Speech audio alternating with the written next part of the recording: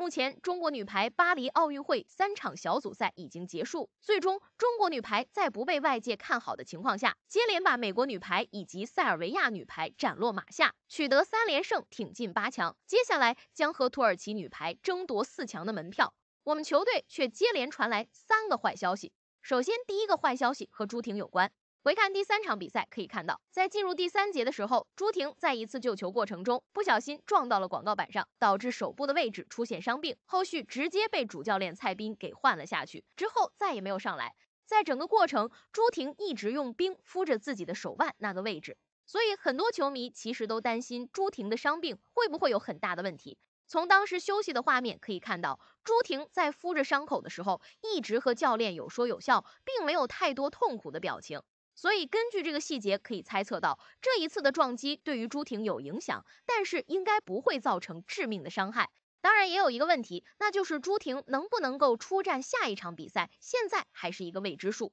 毕竟为了保险起见，蔡斌可能也不敢冒险使用朱婷。而一旦朱婷缺席，吴梦洁和李盈莹他们能不能够拿下土耳其女排，这是一个非常大的问题。毕竟经验老道的朱婷和吴梦洁这些年轻球员完全是两个等级的水平。除了朱婷的伤病问题之外，另外一方面，作为中国女排的王牌副攻、首发副攻，以及我们的大队长袁心玥，在对战塞尔维亚女排这一场比赛的表现也遭到球迷的诟病。很多球迷担心，接下来他会拖了中国女排的后腿。在球迷看来，袁心玥参加中国女排几场比赛，每次首发的表现都并不是特别的理想。大部分时候都是锦上添花。如果在球队出现困难的时候，基本上很少有雪中送炭的时候，而且每一次出手都被对手狠狠的针对。整体来说，对整个球队的贡献并不是特别大，有的时候还出现不少失误。在这样的情况下，接下来朱婷一旦缺席没有登场，球迷自然担心袁心玥能不能够带领中国女排战胜强大的土耳其女排。